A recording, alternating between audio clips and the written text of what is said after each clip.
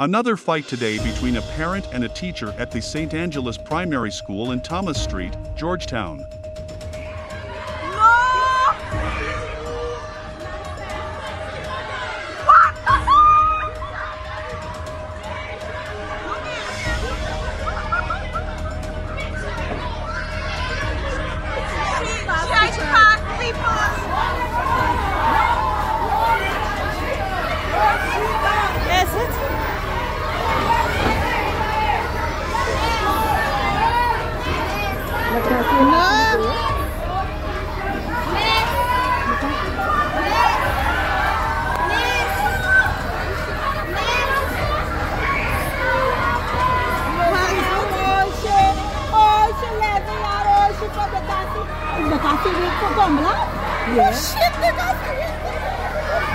Well, it's what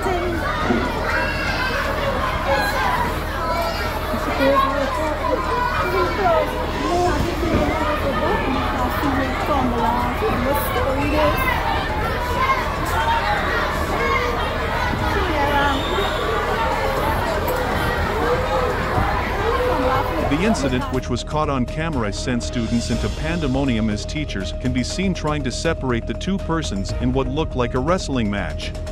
Just yesterday at Graham's Hall Primary School on the East Coast, a teacher was also assaulted by a parent.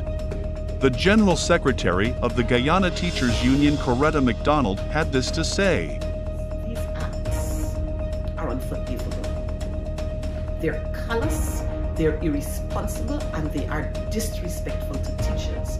Both matters are currently engaging the attention of the police, while the Ministry of Education said yesterday in the instance of Graham's Hall Primary, whatever the circumstances, it is a reprehensible and ghastly act.